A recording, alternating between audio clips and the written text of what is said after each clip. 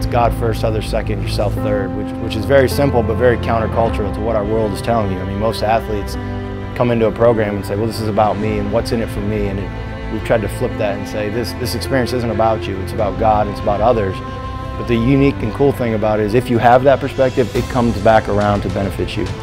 That's the focus of this culture. And it's, it's a daily thing for us as coaches to, to work at that. You know, we, we're, we're imperfect and we're striving to be that and we're not always that. But by us setting the tone and, and desiring that and putting that out front in everything we do, um, you know, it's bled into every area. I mean, we've got a managerial staff that just does a tremendous job. We've got administration that their focus is on third. We've got players then that want to play I am third. And a lot of people ask us about, you know, the way we play. Well, I feel it's a byproduct of the culture. You know, we when we get on the floor, we're playing for each other because our culture is built around that concept. And I think it's a fun way to play basketball.